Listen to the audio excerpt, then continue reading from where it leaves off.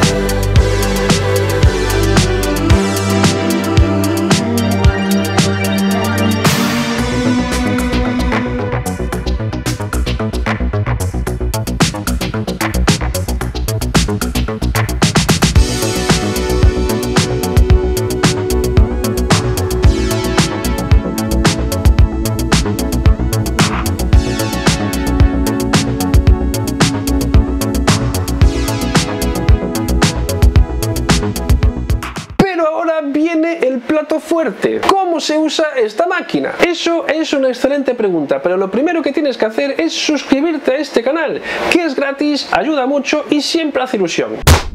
Digo yo que lo normal es como las impresoras 3D, que siempre te traen pues un pendrive con archivos de ejemplo, configuraciones y cosas así. Pero aquí no, no trae absolutamente nada, ni un pen, ni configuración, ni absolutamente nada. Una vez que la montas estás más solo que un vegano en una churrascada. Pero como soy una persona que me gusta buscarme la vida, sé que hay algunos programas que se usan para este tipo de máquinas. Unos que son gratuitos y otros que no son tan gratuitos. En un rato te voy a comentar más sobre esos programas, pero como soy un ansias, primero quiero encender la máquina a ver si funciona, si está todo bien si hace algo, si enciende o arde algo. Y lo primero que me llama la atención es el tremendo de ruido del ventilador. Cuidado que, que no es poco, ¿eh? escúchalo tú mismo.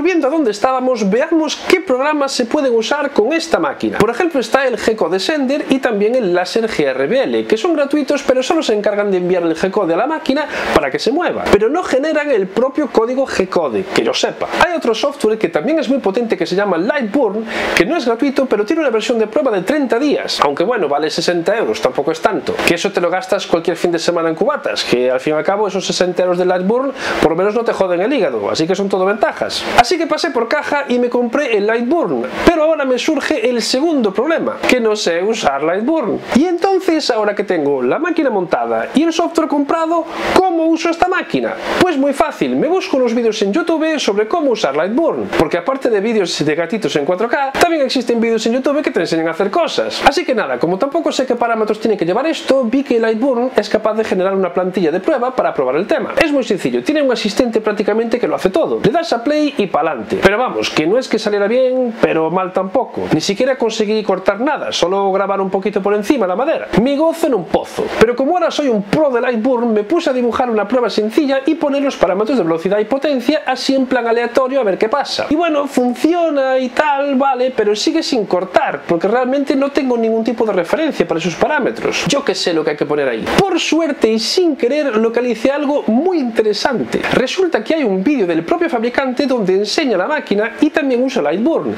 Y aunque no lo explican en el vídeo, se puede ver algunos parámetros tanto del grabado como del corte. Amigo, tanto costaba ponerlo en algún lado, en un fichero de texto, yo que sé, grabarlo a láser en un lado de la máquina, si es que no se puede. En fin, que así con esos parámetros por lo menos me sirvieron de base para hacer otra prueba y por lo menos tener una referencia. Y la verdad es que no salió nada mal y por fin conseguir cortar mi primera prueba. Salió bastante decente, la verdad. Mira qué bonito. Bueno, claramente estoy muy verde con esto de los láser, pero me parece una máquina bastante interesante, que cuando llegue a controlar un poquito mejor el programa, yo creo que se pueden hacer grandes cosas con esta máquina. Y además este modelo ya trae una bomba de asistencia de aire. Y dirás tú, ¿y a mí qué? Pues eso al parecer ayuda a que cuando cortas, los cortes salgan mucho más limpios y las piezas no se manchen tanto por debajo. Además también trae una pequeña lente de repuesto por si la lías parda o si se de porquería. Aprovechando el tirón me puse a diseñar un simple llavero de madera para las llaves de casa. No es nada espectacular o muy difícil, pero por lo menos hace que me vaya acostumbrando a funcionar con la máquina. Creo que esta máquina es un buen complemento para crear todo tipo de proyectos. Además, si la comparas con una impresora 3D,